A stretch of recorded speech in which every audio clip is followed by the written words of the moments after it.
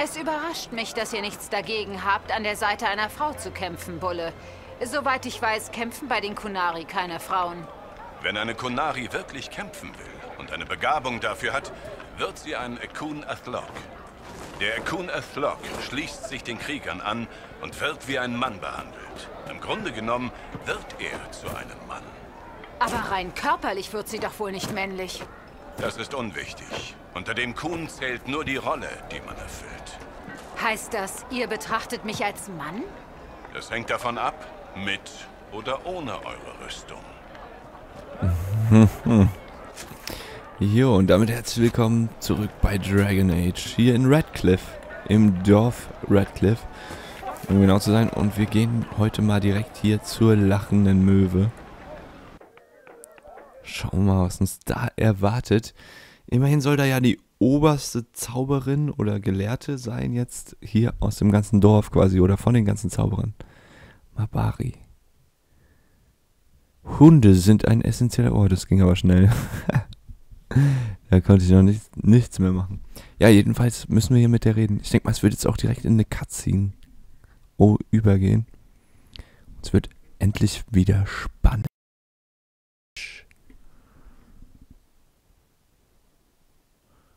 Ja, da seht ihr mal, wie lange so eine Ladezeit wirklich ist, einfach.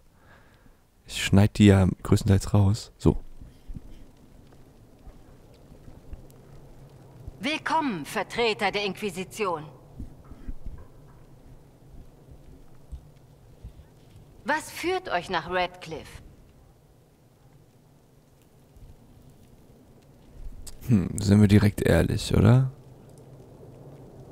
Spart euch das Getue. Ihr wisst, warum wir hier sind. Ihr hattet den weiten Weg nach Val Royaux auf euch genommen, nur um uns einzuladen. Ihr müsst euch irren. Das letzte Mal, dass ich in Val Royaux war, war noch vor dem Konklave. Wenn nicht ihr mich hierher eingeladen habt, wer war es dann? Ich... ich weiß es nicht. Aber nun, da ihr es sagt, kommt es mir seltsam vor. Nun, wer oder was auch immer euch hierher geführt hat, die Lage hat sich geändert. Die freien Magier haben sich bereits dem Dienst für das Reich von Tevinter verschrieben. Na bitte. Man kann Magiern eben einfach nicht trauen. Ein Bündnis mit Tevinter? Habt ihr denn keine Angst, dass sich ganz Cedas gegen euch wenden wird? Als jemand, der einem Magister verpflichtet ist, habe ich nicht länger die Autorität, mit euch zu verhandeln. Hm. Was ist mit diesem riesigen Loch im Schleier, das überall Dämonen ausspuckt? Wollt ihr einfach so tun, als wäre es nicht da? Ich habe die Bresche nicht vergessen, aber wir können nicht mehrere Kriege gleichzeitig führen. Und die Bedrohung durch die Templer hatte Vorrang. Um uns mit dem zerrissenen Schleier befassen zu können, müssen wir zunächst mal überleben. Willkommen, meine Freunde. Bitte entschuldigt, dass ich euch nicht eher begrüßt habe. Vertreter der Inquisition, erlaubt mir, euch Magister Gereon Alexios vorzustellen. Die Magier aus dem Süden stehen unter meinem Kommando. Und ihr seid also der Überlebende, richtig? Derjenige aus dem Nichts. Interessant.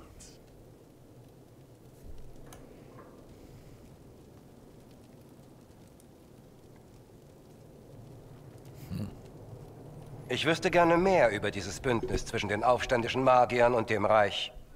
Natürlich. Was genau möchtet ihr wissen?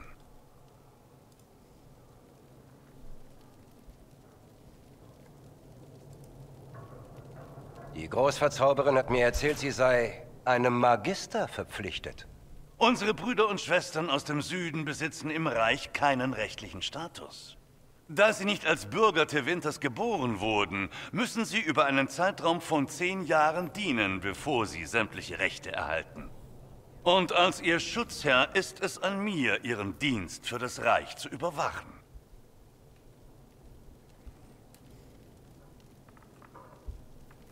Mir ist nicht ganz klar, wann genau ihr diese Vereinbarung mit Fiona getroffen habt. Als das Konklave ausgelöscht wurde, sahen sich diese armen Seelen der Grausamkeit der Templer ausgeliefert, die sie unverzüglich angreifen wollten. Es muss göttliche Vorsehung gewesen sein, dass ich genau im rechten Moment eingetroffen bin. Der Moment war zweifelsohne äußerst passend. Ich habe irgendwie das Gefühl, der beeinflusst die doch, der hat die doch verzaubert. Die weiß jetzt nicht mehr, dass er uns hierher gerufen hat. Hm. Ich habe hier weder den Earl von Radcliffe noch einen seiner Männer gesehen. Der Earl von Radcliffe hat das Dorf verlassen. Earl Tegan hat seine Ländereien nicht einmal verlassen, als sie während der Verderbnis unter Belagerung standen. Es kam zu wachsenden Spannungen. Ich wollte nicht, dass es zu einem Zwischenfall kommt.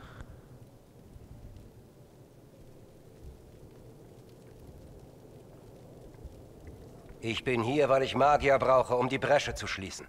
Ihr kommt also direkt zur Sache. Das verstehe ich natürlich.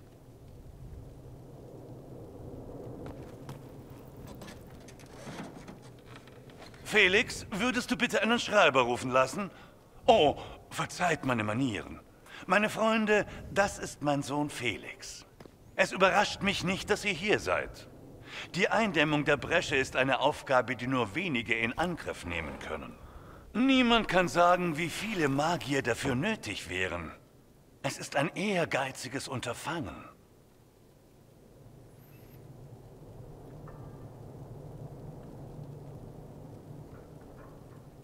Heißt das, ihr überlasst uns eure Magier für diese Aufgabe?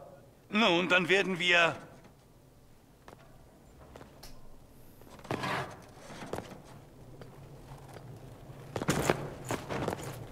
Felix? Tut mir so leid, my Lord. Bitte vergebt mir. Ist alles in Ordnung? Es geht mir gut, Vater. Na komm, holen wir dir deine Arzneien. Wenn ihr mich bitte entschuldigen würdet, meine Freunde, wir müssen unsere Unterhaltung ein andermal fortsetzen. Fiona, ich brauche im Schloss eure Hilfe. Es war nicht meine Absicht, allen derartige Umstände zu bereiten. Ich lasse der Inquisition eine Nachricht zukommen. Wir werden diese Angelegenheit ein andermal klären. Strange. Kommt in die Kirche. Ihr seid in Gefahr. Mhm. Was sind wir doch geheimnisvoll.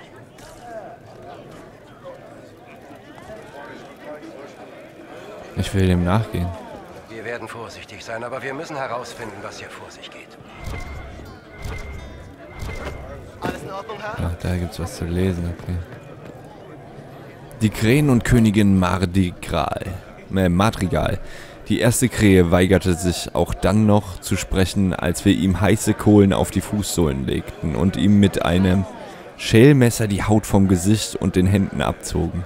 Er entschied sich stattdessen dafür, sich selbst die Zunge abzubeißen und an seinem Blut zu ersticken.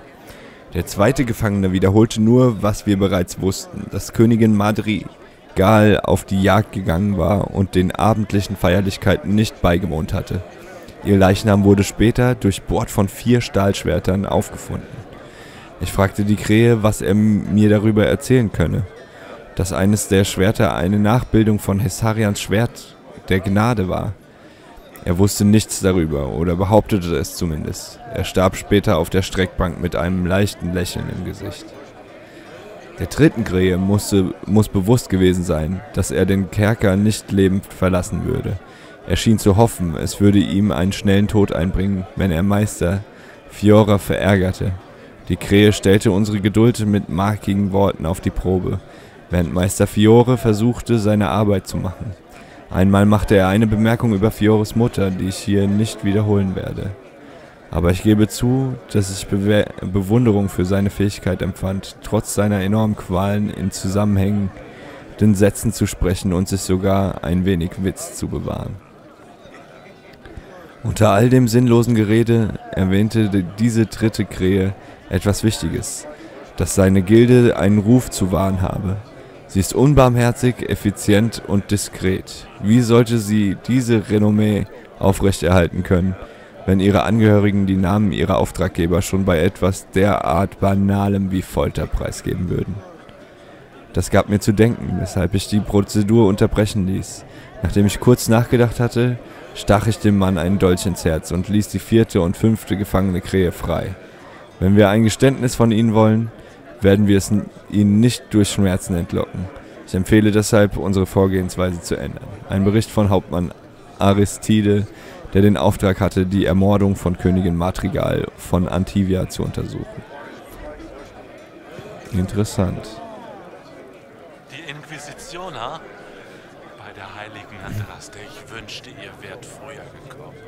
Von diesen Tevinteranern kriege ich immer so ein fieses Jucken in den Schulterblättern. Ihr seid über dieses neue Bündnis nicht glücklich. Irgendetwas stimmt nicht mit diesen Kerlen.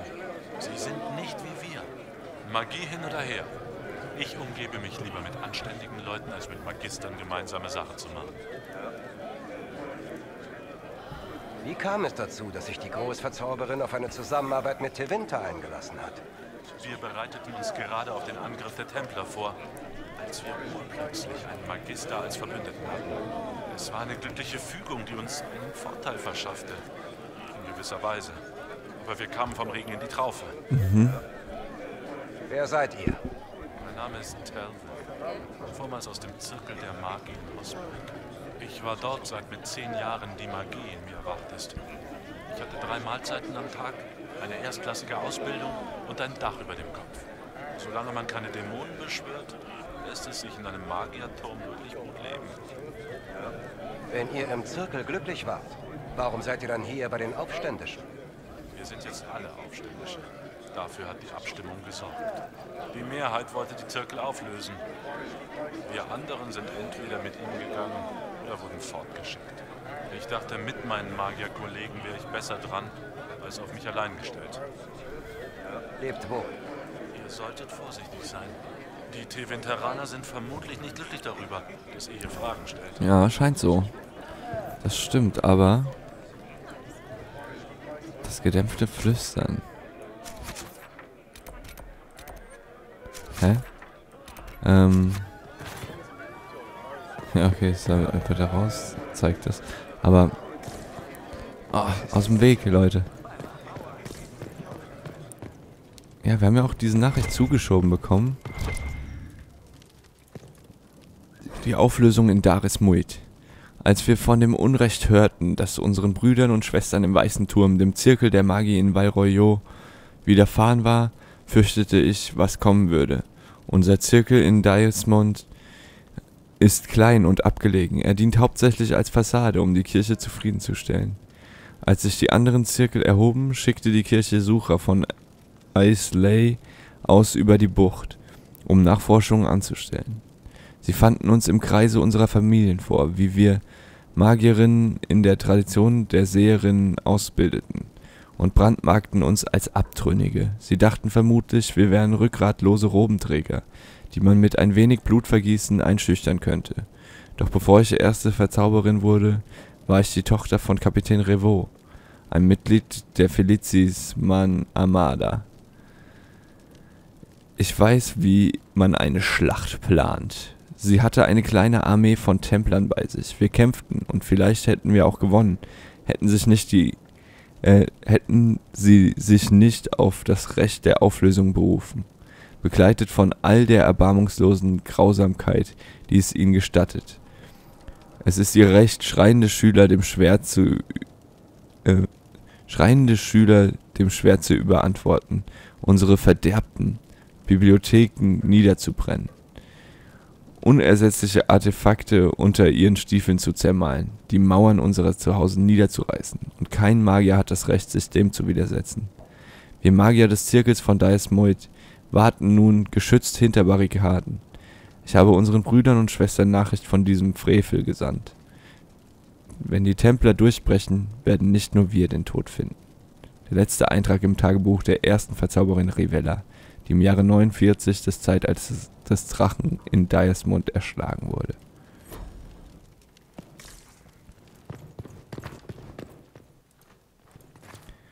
Seher und das Alsmed 23. Verventis. Als ich mich auf den Weg in die Hauptstadt Rivains machte, äh, hatte ich nicht erwartet, mich letztendlich inmitten eines provinziellen kleines kleinen Festes wiederzufinden. Die Straßen sind überfüllt mit Fischern und Bauern, die aus den ländlichen Gebieten zusammenströmen.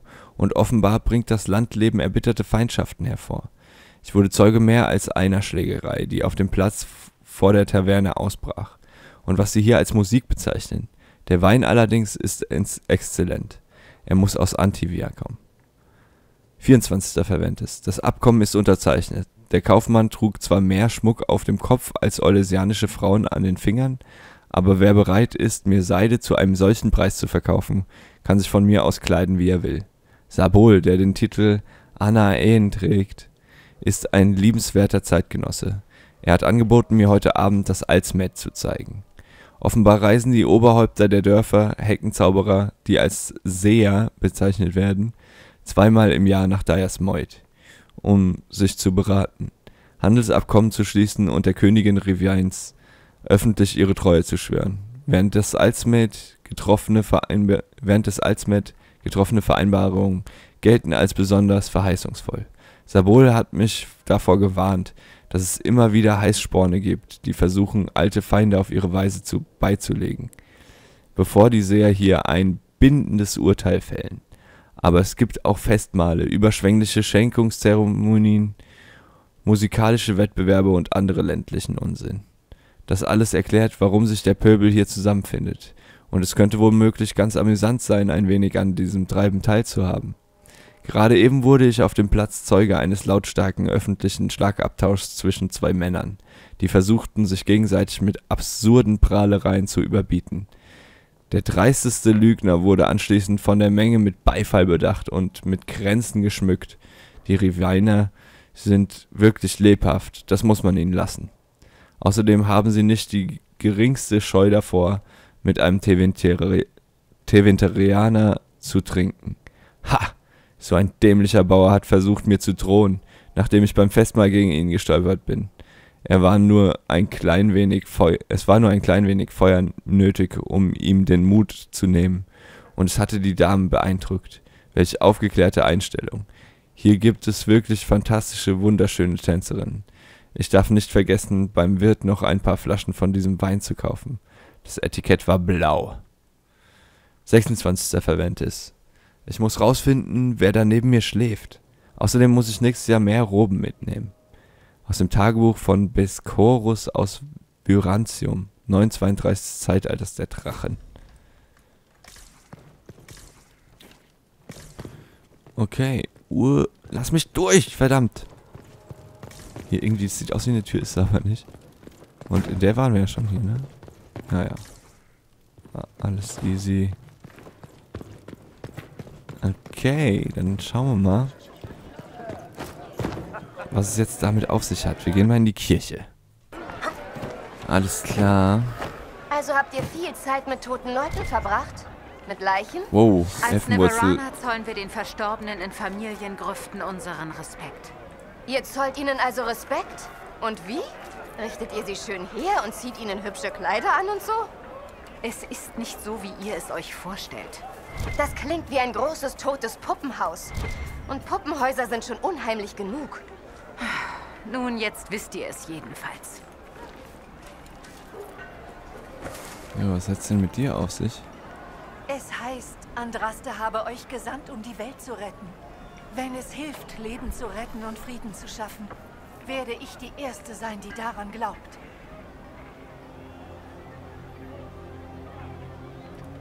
Es interessiert mich nicht, was ihr glaubt. Gut. Dann wird euch die Bewunderung Tausender ja vielleicht nicht zu Kopfe steigen.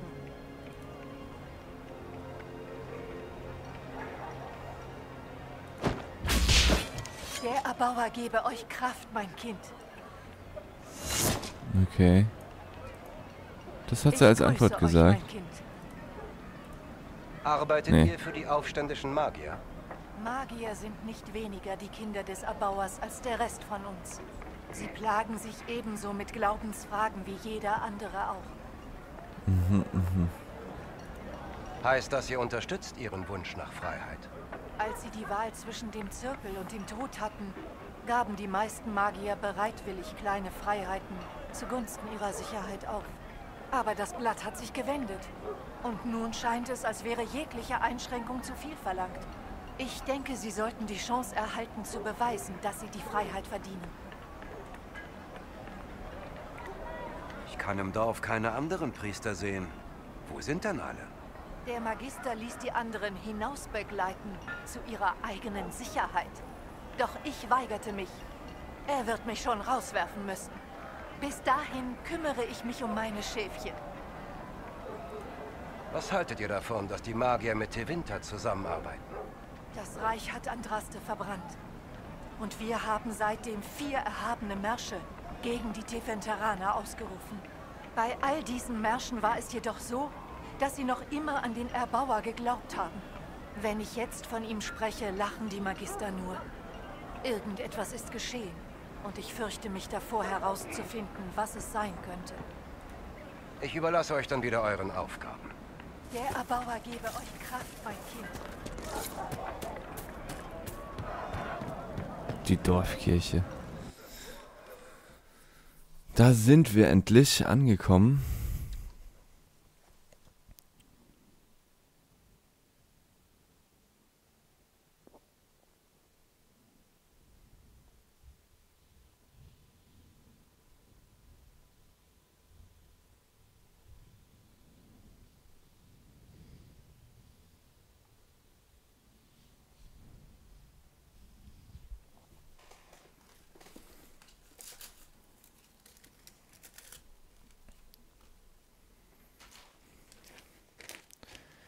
Bulletproof, this time, baby.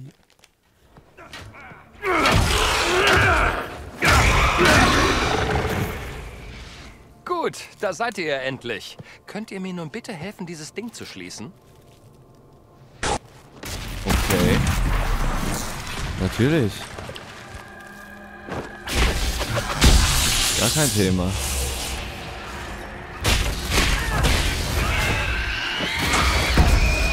Noch einer. Wow, den hat's aber ganz schön erledigt.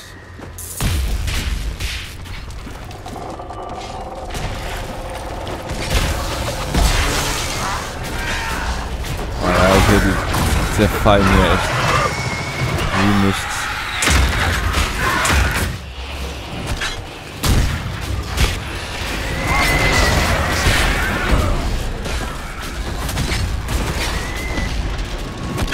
Alle down. Und weg mit dem Rest.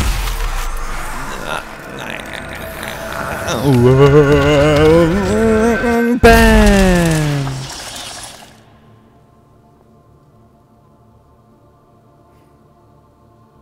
Faszinierend. Wie genau funktioniert das? Ihr wisst es nicht einmal richtig? Ihr wackelt einfach mit den Fingern und zack, der Riss schließt sich. Wer seid ihr? Oh, ich habe wieder den zweiten Schritt vor dem ersten gemacht. Dorian aus dem Hause Parvis, zuletzt wohnhaft in Minrathis. Wie geht es euch? Noch ein Tevinteraner. Nehmt euch vor ihm in Acht. Ihr habt ziemlich misstrauische Freunde. Magister Alexius war einst mein Mentor, sodass ich meine Hilfe als äußerst nützlich erweisen dürfte, wie ihr euch sicherlich vorstellen könnt. Hm. Hört auf, so zu reden, als würdet ihr auf Beifall warten.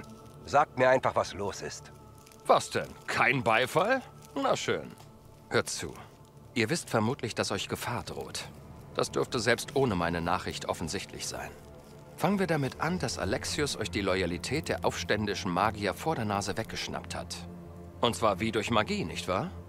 Was es auch genau trifft. Alexius hat die Zeit manipuliert, um vor der Inquisition in Radcliffe zu sein.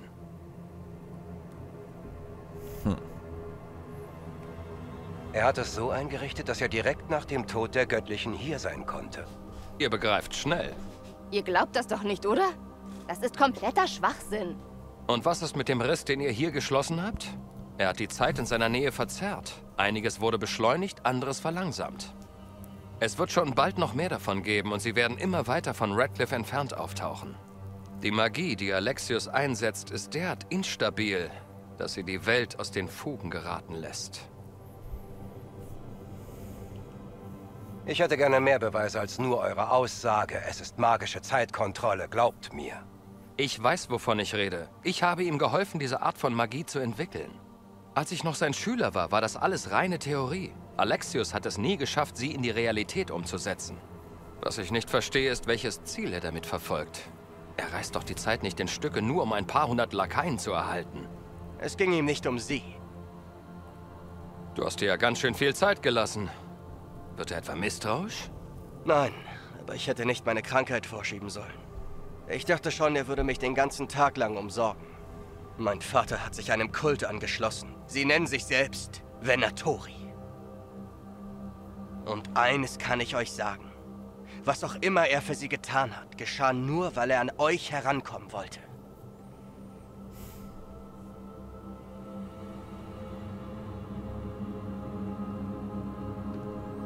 Ich habe keine Angst vor Alexius. Ihr wisst, dass ihr sein Ziel seid. Mit einer Falle zu rechnen, ist der erste Schritt, um sie zu eurem Vorteil zu nutzen. Ich kann nicht in Radcliffe bleiben. Alexius weiß nicht, dass ich hier bin und dabei möchte ich es vorerst auch belassen. Aber sobald ihr bereit seid, euch mit ihm zu befassen, will ich dabei sein. Ihr hört wieder von mir. Ach und Felix, versuch dich nicht umbringen zu lassen. Es gibt Schlimmeres als den Tod, Dorian. Hm.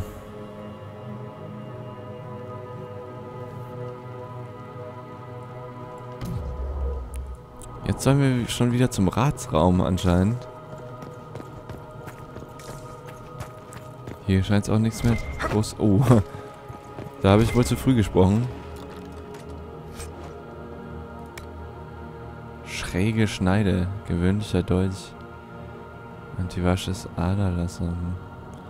Sind beide jetzt nicht so die tollen Dolche.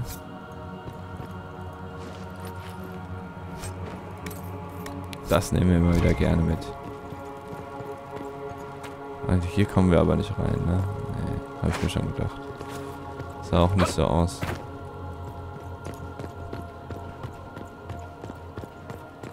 Dann wohl wieder raus hier. Uh, wir können noch skillen. Ich glaube, wir benutzen mal das hier jetzt. Das Energiesperrfeuer. Damit wir hier weiter runterkommen und den Stromleiter, je mehr magische, ja, desto höher. Ja, das finde ich geil. Zack. Was hier? Magieresistenz minus 2 auch nicht schlecht. So, der, der Ratsraum war jetzt aber... Meinen die meinen Ratsraum?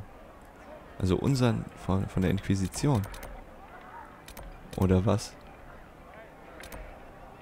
Scheinbar schon, ja. Also... Schauen wir mal. Oder gehen ins Tagebuch.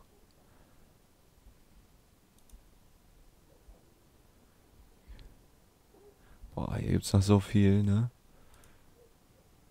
Aber das hier... Nee. Hä? So. Kämpfe für die Gerechtigkeit. Kontakt mit den Templern. Das hier ist das gedämpfte Flitzen. Kehre zum Ratsraum zurück, ja.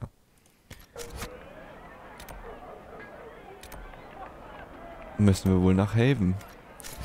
Aber solange wir noch hier sind, in den Hinterlanden, kann ich noch die Quest mit dem Geist da schnell machen. Und die hier noch. Und dann reisen wir zurück. Auch wenn es jetzt leider wieder ein bisschen Fahrt rausnimmt. Die Story. Aber jetzt können wir uns anscheinend entscheiden. Gehen wir zu den Magiern. Aber ich finde die Magiergeschichte jetzt schon viel interessanter, muss ich sagen.